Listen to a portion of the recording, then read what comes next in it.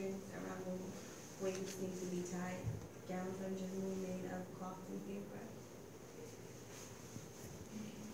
All right. Number four, non-mask if required.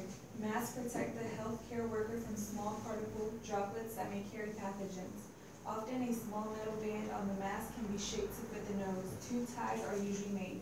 The first around the upper portion of the head and the second around the upper portion of the neck.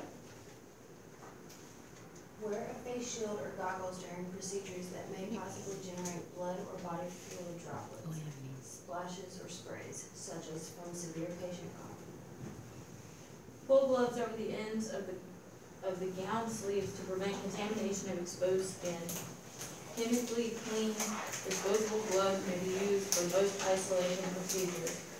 For isolation procedures in which the patient must be protected from any microorganisms, use sterile disposable gloves. Do not wear rings and other pieces of jewelry because they may puncture a glove during patient contact.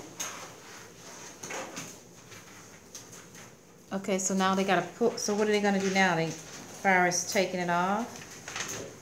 Um, so moving number one, Mm-hmm.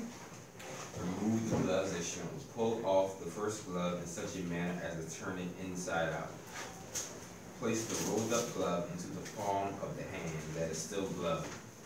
Remove the second glove by slipping the index finger of the ungloved hand between the glove of the hand. Then pull the glove down and off as it turns inside out. Dispose of both gloves in a red garbage bag in the isolation room. After removal of gloves, remove the goggles or face shield by touching the headband or earpieces. Do not touch the outside of goggles or face shield because of contamination. Unfasten the gown's ties. Take off the gown by pulling down from the neck and shoulders first, and then pull the gown arms out of out of the gown. Remove the gown and fold it with the contaminated side turned in, and with the care taken not to touch the outer side. To prevent contamination, use the gowns only once. Dispose of the gown in the linen hamper or if disposable in a garbage bag in the isolation room. So, Touching only its inside surface, place one arm at a time through the gown sleeve and wrap the garment completely around the body so that the opening is in the back. Pull down the sleeves, then the neckties or velcro should be secured around the neck. And then the strings around the waist need to be tied.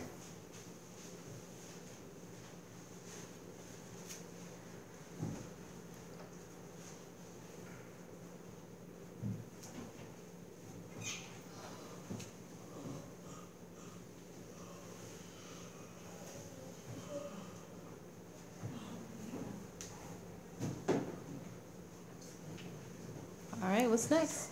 Keep it rolling. Don mask, Don mask if required. Masks protect the healthcare worker from small particle droplets that may carry pathogens. Mm-hmm. Often, a small metal band on the mask can be sharp to fit the nose. Two ties are usually made. The first round the, the first around the upper portion of the head and the second around the upper portion of the neck. Oh, he's, he's the one to go in.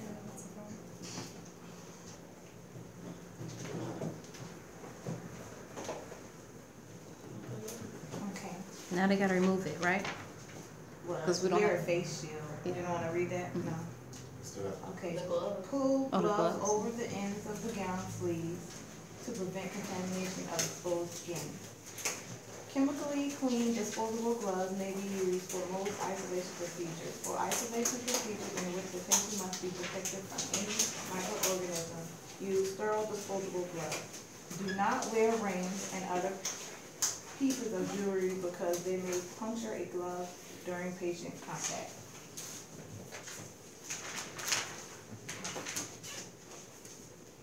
This is remove. Remove the gloves as shown. Pull off the first glove in such a manner as to turn it inside out.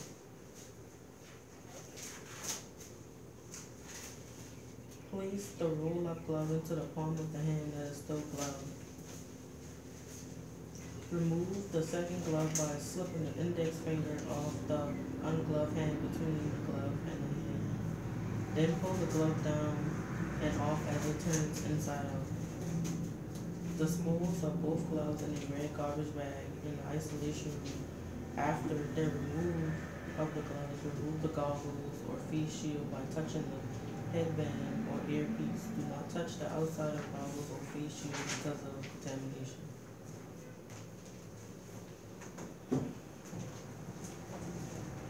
Yeah. Unfasten the gown's tie.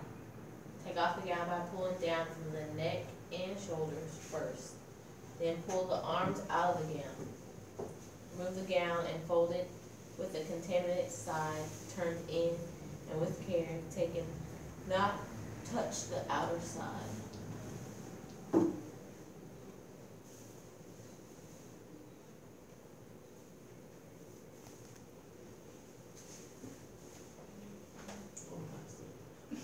I just don't get that. It's tied. You got a I gotta cut mine.